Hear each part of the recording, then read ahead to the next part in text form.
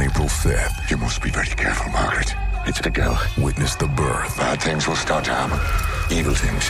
of evil. It's all for you. No, don't. The first omen I believe the girl is to be the mother. Mother of, of what? is the most terrifying 666 is the mark of the devil. movie of the year. Real, it's not real. What's not real? Who did that? The first omen. Rated R. Under 17 on a minute without parent. Only in theaters April 5th. This is Optimal Relationships Daily, episode 2114 Love Shows Up When You Do by Melissa McCaughan with tinybuddha.com. Hello, everybody, and happy Monday. Thanks for starting your week with us here on ORD, where I, Greg Audino, read to you daily from different blog posts that can help you improve the relationships in your life. This time, we'll be hearing from Tiny Buddha, a really versatile website that has articles about all different facets of personal development and is read from on all the shows in our network, fittingly. So let's get right to today's post from them as we optimize your life.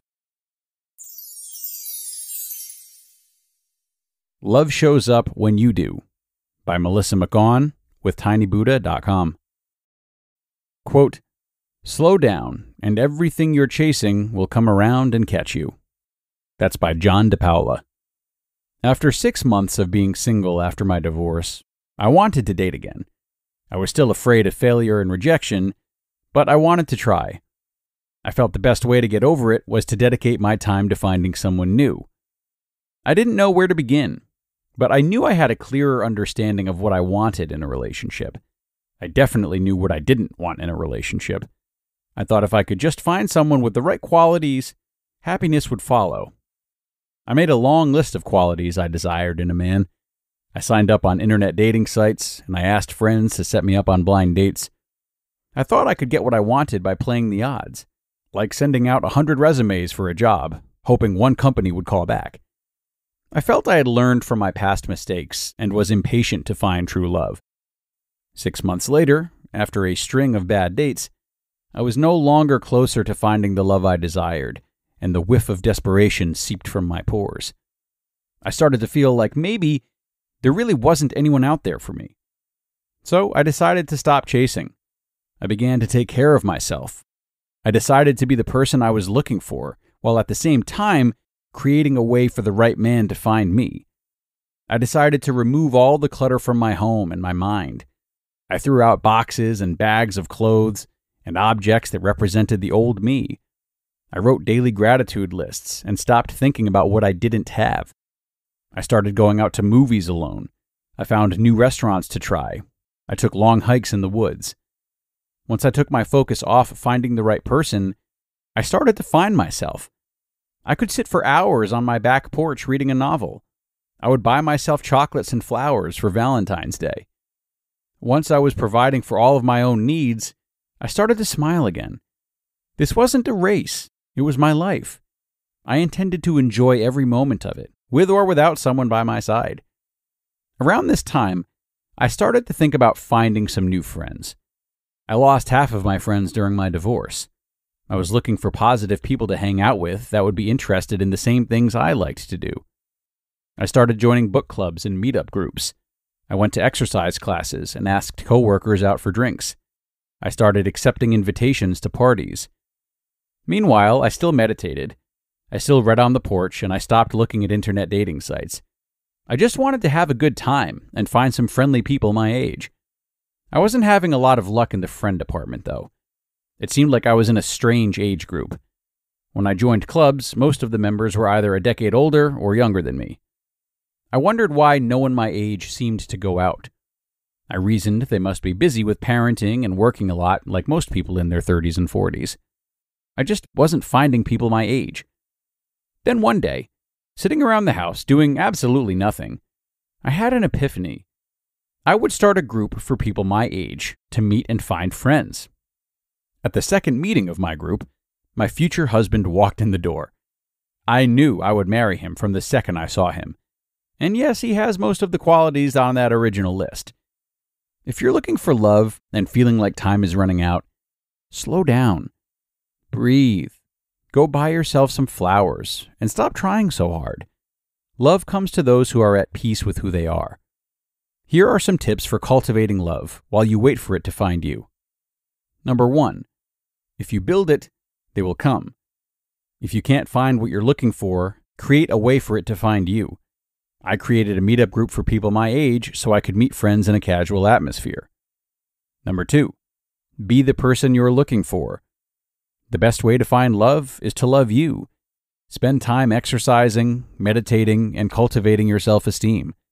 When the right person does show up, a calm confidence will be far more attractive than fear and anxiety. Number three, stop and smell the roses. It's not a marathon. You're looking for the best person to show up, not the first person to show up. When's the last time you found someone who seemed panicked attractive? And number four, it's okay to dine alone. Many people are afraid to do couple things alone. Try going to a play by yourself. You can really have a good time just enjoying your own company. Take action toward your dreams, but then step back and let those conditions manifest. Enjoy life and give yourself what you need instead of waiting for someone to give it to you. Meet each day with gratitude and joy in what you do have, and what you wish for will find its way to you. You just listened to the post titled, Love Shows Up When You Do by Melissa McCaughan with tinybuddha.com. And be sure to stick around for my commentary right after this. Now, I am a big believer that if you want to be your best self in your relationships or in anything you do, you need to fuel yourself properly. And that's why I'm so happy to have this show sponsored by Factor.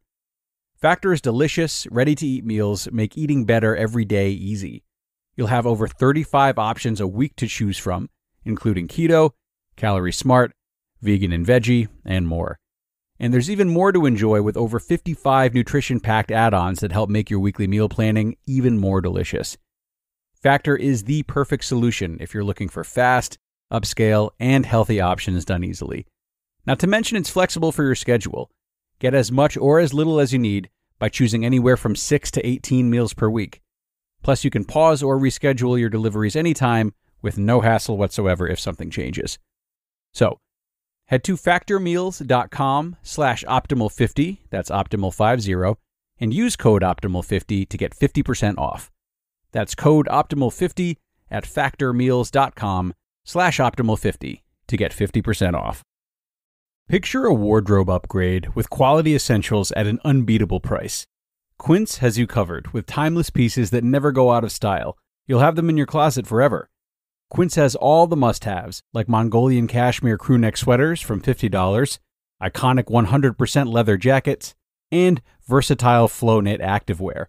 And all Quince items are priced 50 to 80% less than similar brands. That's because by partnering directly with top factories, Quince cuts out the cost of the middleman and passes the savings on to us. And most importantly, Quince only works with factories that use safe, ethical, and responsible manufacturing practices along with premium fabrics and finishes. And as for me, I love Quince's versatility too. They have great home items as well as clothes, and I've been really happy with the bedding that I bought from them. When you look at it and you feel the material, you can tell easily that it's of high quality. So indulge in affordable luxury. Go to quince.com slash ORD for free shipping on your order and 365 day returns. That's Q U I N C E dot com slash ORD to get free shipping and 365 day returns. Quince.com slash ORD.